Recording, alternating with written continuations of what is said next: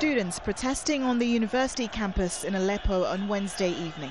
We can't independently verify this video. A witness says the protest was broken up by police using batons. In a country where almost 40% of the population is under 24 years old, young people have played a major role in this uprising. The activists are young. They're in their 20s and early 30s. These are the people who are driving this revolution. They are faceless, which is good because the government cannot arrest them.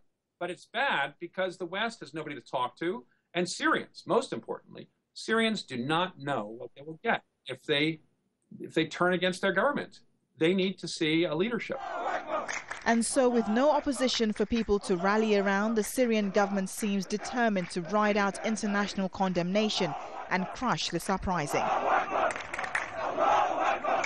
The detention of thousands of alleged protesters and the deaths of at least 750 people does, say rights groups, seem to be having an effect and keeping down the number of people taking to the streets.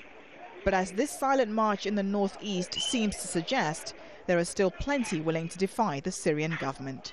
Emike Umolu, Al Jazeera.